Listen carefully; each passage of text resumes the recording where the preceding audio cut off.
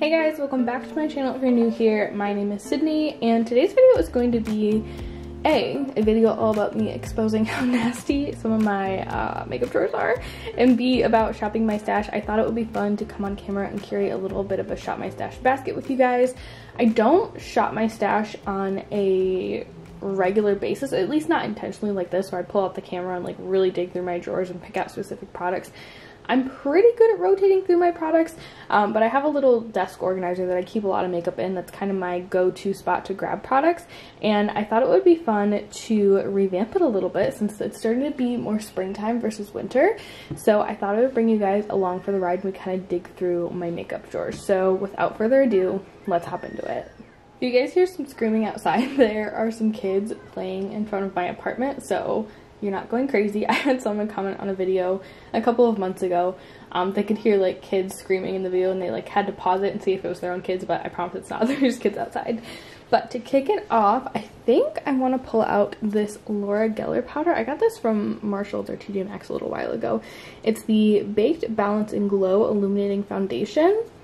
I, I mean, I've really been on the glowy train for quite a long time, and I feel like maybe this would have been a little bit better to pull out in the winter time, but throughout the winter, I've kind of just like given up setting my face. I just feel like I don't really need it. So now that it's springtime, I will start to get a little bit more oily. So I think maybe this would be a good product to pull out to just kind of lightly set my face.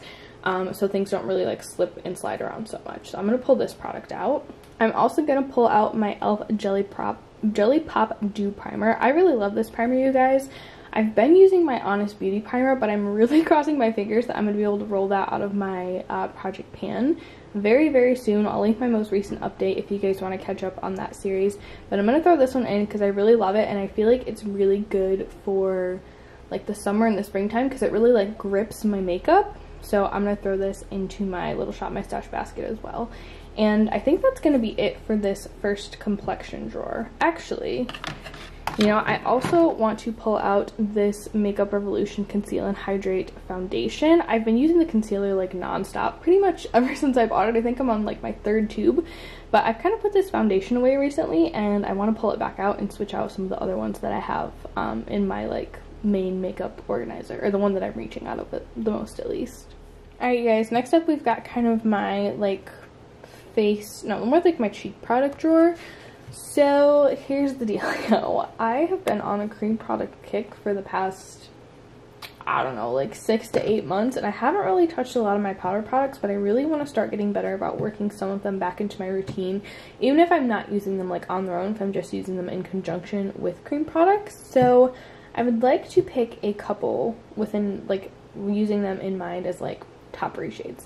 So the first thing that really caught my attention is this ColourPop Super Shock Cheek. This is the shade Vacancy. This is the most gorgeous like corally springy tone. I have like a cool tone bubblegum pink cream blush in my project pan right now so I'm not really sure how these would pair together but once I get that out I would love to switch to more like springy cheek colors and I feel like this really fits the bill. Ooh, I'm also kind of thinking that I want to throw this Naked Cosmetics um, think this is called like the holographic highlighter palette in. I've been into kind of playing around with my highlighter lately and I like cannot get away from that ColourPop Light Sticks that if you guys have watched any of my Instagram story Get Ready With Me's, I swear this is like, that's the only like highlighter that I've used lately. But I think these would be really fun to layer over top of it, especially since these don't have like a ton of like glow to them. They just give more so that tint. So I think this might be like a really good product to pair with that. And I think I'm going to throw in one of these Kaleidos Glow Blushes. Yeah, let's go with this one. This one is called Rose Gold. Again, it's another really gorgeous, like, peachy, corally shade. It's a gorgeous, gorgeous shimmery blush. Actually, let me pull out the other shades because I feel like they're all pretty similar, but one of them is, like, much deeper. I think this is Cherry Gold. Yeah, that one's much deeper. That kind of gives me, like, a sunburnt look, which is cute. Ooh, okay. I think this is the one we're going to stick with for now. This is Peach Gold. This one's just a little bit lighter. And since I am ghostly pale right now, I need the lighter one. Those two are really pretty, like in the summertime when I get like just the barest hint of a tan. But I think I'm going to throw this one in for now to add some glow to my cheeks. And I think that's going to be it from this drawer. Let's hop into the next one. Oh, this drawer is such a mess, you guys. It's it's something. I feel like I've tried to like organized this so many times and every time I do it just ends up being a disaster like a week later. Anyways, this is like my single eyeshadow, cream shadow, eye primer, eyeliner drawer.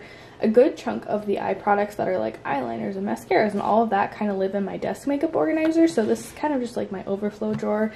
I'm pretty good about rotating these products in and out, but oh hey, there's a lip gloss. I've been looking for this lip gloss. Let me put that back in the basket. Um, but it's always good to be more intentional with my rotation. So right off the bat, I see this little Vibrance Cosmetics shadow. I did not use this as much as I thought I would, you guys. I won't lie. It's a really gorgeous, like, glittery jelly shadow. I hope it's not dried out. Oh, no. It's still super juicy. It's this beautiful blue color. Oh my goodness. I feel like this would be such a fun color to pair with, like, a periwinkle springy eye. So I'm going to put this one into my little basket. I'm also going to throw in, uh, should I throw in both of these? Eh, I feel like those are more summery than springy. I'm not sure I really want to throw those in. I'm definitely going to throw in this little quad from Colourpop. I think this is called their Petal Play eyeshadow quad. I'm not sure what, oh, it's Barrymore. That's the variation of this. Um, it's a really, really gorgeous kind of soft eyeshadow palette. Flower Beauty sent me this um, just to test out a couple of months ago. I played with it a little bit and I wasn't like blown away, but that was also in the time that I was kind of really looking for super impactful eyeshadows and going for like super dramatic eye looks. So now that it's spring, I'm kind of thinking this might be a better like just soft, like easy breezy look kind of palette. I don't know. I'm gonna throw this one in as well. Ooh. I'm also going to throw in this e.l.f. X J Kissa liquid eyeshadow duo. The chartreuse shade is so, so pretty. I feel like this shade and I had some issues. I don't know. I remember having some sort of issues with this little duo, but I can't remember what quite they were. So I need to test this out again and decide if it's going to stay in my collection, but I feel like these shades are so pretty and so fun for spring. Ooh, let's pull this baby out too. This is from Pixi Beauty. It's one of their liquid glitter shadows. This one's in the shade Mirage. This is such a springy shade, you guys. Like, this is L'Oreal Amber Rush on steroids. I've really been trying to get back into the habit, this week especially, of, like, wearing makeup just for fun. I, I wear makeup for fun, but I always end up filming with it. So it's rare that I just take 10, 20 minutes to just do my makeup for me to feel put together, feel ready to take on the day. And I feel like that's what I need to start doing because honestly I've been struggling a little bit mental health wise, but I think this would be a really fun shadow. Like glitter always makes me feel better. So I'm to throw this one in for like a quick two shadow super glittery eye. And then I think the final item I'm going to grab out of here is this cream shadow from Sydney Grace. It's in the shade Mani Petty. I don't know if you guys can see in that little window right there. That's the color of this product and the light's going to change. I apologize you guys. I'm using completely natural light right now. So it's going to fluctuate. It's a little cloudy today. We're just going to power through it. But thank you for your patience with that.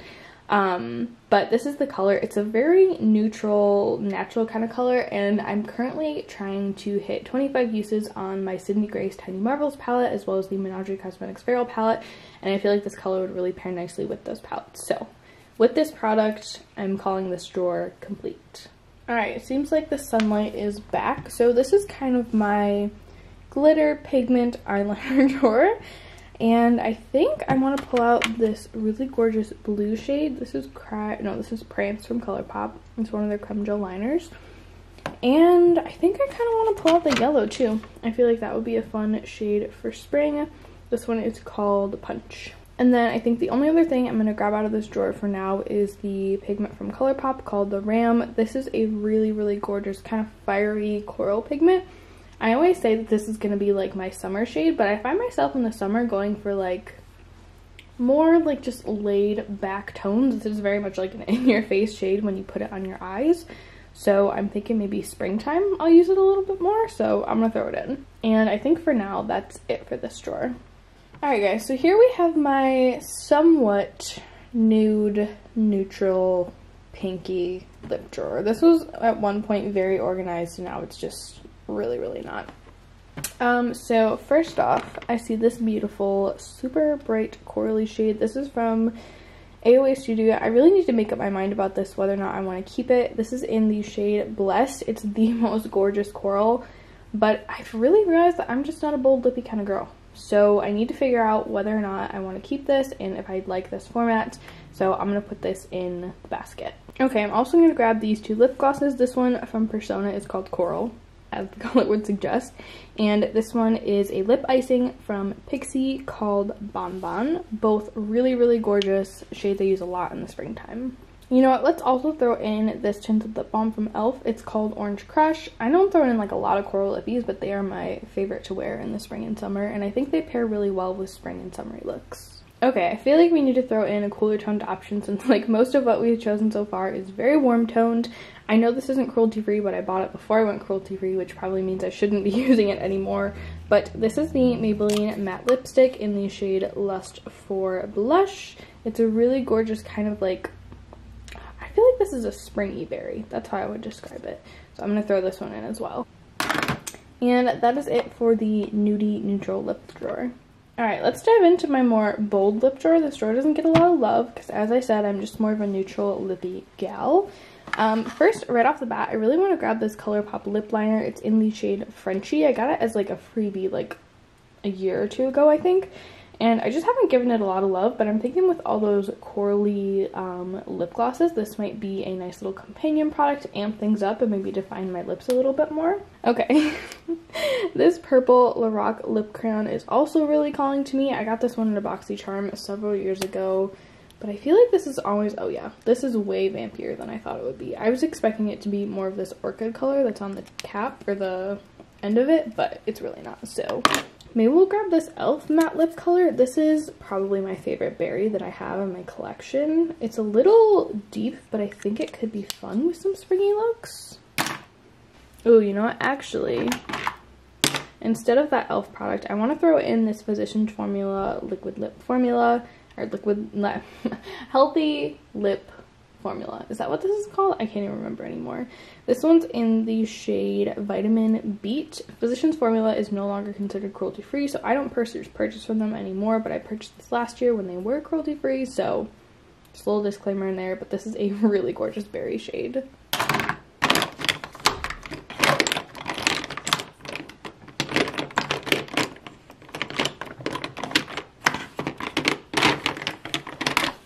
And I think that's going to wrap up with this drawer, guys.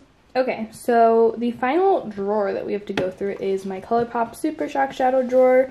And I'm going to grab a couple of these to play with. The first one that I want to grab is this gorgeous like mint green shade called, I think it's called Special Delivery. It's so pretty. This is a gorgeous like springy mint shadow that I think will be so, so fun to play with. I also kind of want to grab this deep blue. I know it's not super springy. It's called Warrior, but I'm just feeling very called to it at the moment. So I'm going to grab this one as well. I'm also going to grab the shade called Sailor. This kind of just looks like a champagne, but it has a really, really pretty like blue shift to it. I really want to get better at trying those like almost one shadow looks with like a sheer wash of just like glitter but I always kind of hate how they look on my eyes because if I don't put eye primer down, my eyes are very like veiny and they're just, they have a lot of like uneven pigmentation. So I feel like whenever I do that, it just looks weird on my eyes because they're not evenly pigmented. But I'm going to try it with this shade and see how I like it. And I think that's it for this drawer as well. I was going to drag my whole palette card out here, but I think I'm just going to grab a couple palettes, come back, talk about them, and then we can kind of move this video along. Alright guys, so I kind of grabbed more palettes than I originally planned, but it's fine. I get so excited about eyeshadow. It's my favorite part of makeup, so when I was like, let's go pick out some palettes, I went a little nuts. But to kick it off with, I'm going to start off with the ColourPop uh-huh Honey palette. I won this in a giveaway a while ago, and I really love this palette. It's really good for like really soft, yellowy looks, but there's really no depth to this palette, so I don't love using it on its own, but again, I'm kind of throwing this in with that mindset of I'm going to get more into the habit of wearing makeup every day for me, not necessarily because I'm going to create this spectacular look, it's just going to be because it makes me happy, it makes me feel good. Kind of along those same lines, I threw in the Huda Beauty Nude Light Palette. I always feel like a million bucks every time I wear this palette. I always feel so, so good, and that's honestly what I need in my life right now, so I pulled this one out. It's a really quick palette to create an eye look with. I feel like there's only really a couple different directions you can take this palette in, which most of the time I would say is a bad thing, but in this instance I feel like it's a really good thing because it can be very mindless and very quick. I guess we're having a little Huda party this month, um, or this season. I'm also pulling out my Huda Beauty Mercury Retrograde palette. Springtime is when I feel like this palette really just shines because these tones are very they're very ethereal in my opinion, and honestly, this palette doesn't have a lot of depth. That's a huge, huge con for me, and a huge reason why I didn't purchase it when it came out. Um, I only purchased it because it was on sale, and I was placing an order on their website, and it was like a semi-regret purchase, but it's fine. I'm gonna learn to love this palette. Um, there goes the sun again. But I really thought this would be great for the springtime because I feel like it's really a palette made for quick, soft looks, and so that's what I plan to do with it. Okay, next up we have the Berries and Cream palette from Dominique Cosmetics. Now, you're going to look at this palette and be like, okay, this is so deep. It's so unlike the other palettes that you've mentioned, and you're right. But I just feel like this is the perfect winter to spring transition palette. I feel like the deeper tones lend themselves to be a little bit more wintry. If I'm having a day where it's snowing outside or I just feel like I want winter tones back, I've got some deeper tones in here, but also it's got some really nice, beautiful springy tones. This purple right here, so, so beautiful. Um, like these taupey shades, this gorgeous matte, like, pinky cream shadow is really gorgeous. I love this, like, deep, plummy brown shadow. Gorgeous. So that's why I threw this. Next up, we have the Strawberry Shake palette from ColourPop. I mean, like, this is spring in a palette. It's gorgeous. I love, love, love these rosy tones on my blue eyes. I think they are absolutely gorgeous. And when I saw this one, I just couldn't say no. Orange Glad from ColourPop is kind of the same story. Again, this is one that I feel like I'm always like, oh, I'm going to use this so much in the summertime, but then summer rolls around and I just want something that's a little less like bam in your face and I just want to look like a glowy bronze natural goddess. So I'm pulling this out in the springtime in hopes that I'll get a little more use out of it. And finally, we have the So Jaded palette from ColourPop. This is a big old palette, you guys. Um, I'm hoping to do a video soon about me kind of rearranging this palette. I just have to find a magnet big enough in my apartment to pop these shadows out. But I feel like this palette has just sat kind of neglected in my collection for far too long. I've seen so many gorgeous looks created with this palette, you guys. If you have a lot of ColourPop palettes and you're kind of lacking inspiration, um, go check out, I believe her name is Roxanne Ramona on Instagram or Roxanne's Makeup. I will link her account down below. She's an awesome friend on there. She creates so many palettes or so many looks with her ColourPop palettes and I just go to her page and I'm like, oh, like why did I stop using this palette? I could have been creating all these gorgeous looks this entire time. So pulling this one out to make myself use it a little more. But I think that's going to wrap up today's video. Thank you guys so much for hanging out with me today. Again, I know the light was kind of all over the place. Please just bear with me. My studio lights I feel like are not big enough or powerful enough to really function well on their own in this kind of like overhead setting. So I'm really dependent upon natural sunlight and today it was just a little bit all over the place. But let me know what products you've pulled out from your stash recently that you just like kind of refell in love with. I'm really hoping I'll refall in love with a lot of these products. But that's it for me today. Thank you guys so, so much for watching. Please don't forget to subscribe and hit the thumbs up button before you leave. And I'll see you in my next video. Bye!